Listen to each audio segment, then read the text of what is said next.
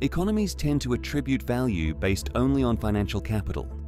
These exist as profits, shares, and investments.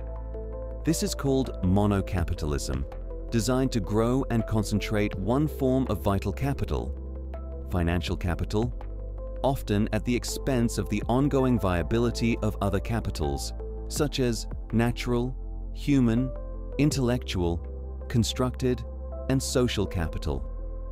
Keeping track of and converting all resources to financial capital is akin to missing the forest for the trees.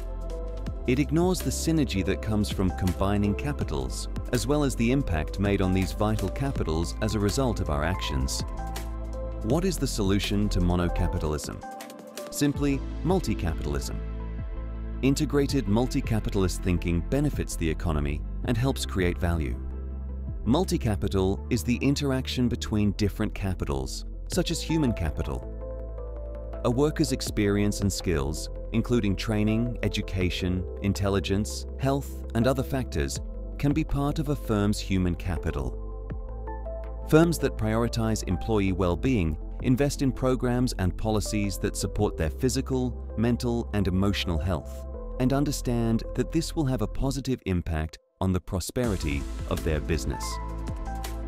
Multi-capitalist thinking accounts for both positive and negative impacts on the value of firms. This ensures that businesses can preserve their value and act in ways that benefit society and our natural environment. The systemic holistic model can help individuals and businesses consider the true value of different types of capital, measured in an integrated way. Multi-capital sustainability is one of Thrive Framework's 12 foundational focus factors. It is a credible, measurable and implementable transformation mechanism that addresses the current crisis, moving us beyond sustainability and towards thrivability, thereby ensuring that present and future generations can enjoy a sustainable society and a thrivable future.